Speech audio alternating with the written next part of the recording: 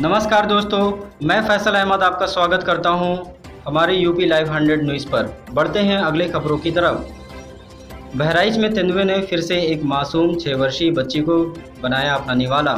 लगातार दूसरे दिन भी जंगल से निकला तेंदुए ने किया एक बच्चे का शिकार। ताज़ा मामला जनपद बहराइच के मीपुरवा तहसील क्षेत्र के अंतर्गत ग्राम पंचायत चंदनपुर का है।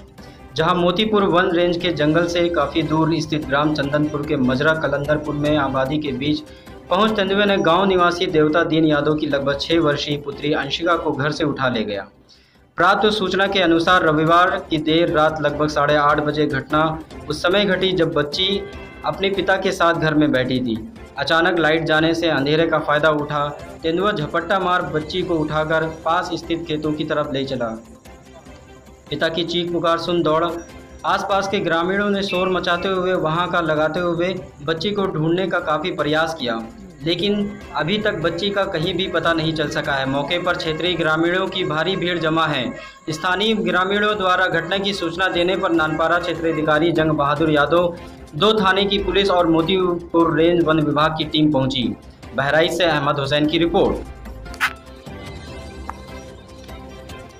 क्या नाम है आपका? देवता जी। देवता दिन कहाँ रहते हैं आप? कलंदरपुर। ये जो बच्ची को या आपकी बच्ची को उठा ले गया है? हाँ। क्या नाम है आपकी बच्ची का? अंशिका कैसे हुआ ये पूरा मामला बताइए कैसे अंगना में से बत्ती चली गई थे उठा ले गया था। आपने देखा था? हाँ हम देखा थे यहाँ पर गाड़ी में घसीट के लेके गया है। बच्ची मिली अभी नहीं मिली? ना मिली है। अभी नहीं मिली गई कितनी देर हो। गई लगभग में? अब तो लग जाएगा एक घंटा। अच्छा आधा घंटा हो गया। एक घंटा से ऊपर एक घंटा से ऊपर हो गया। है। हाँ बच्ची का नाम क्या है? अंशिका कितने साल की है बच्ची? छह साल की छह साल की है। हाँ।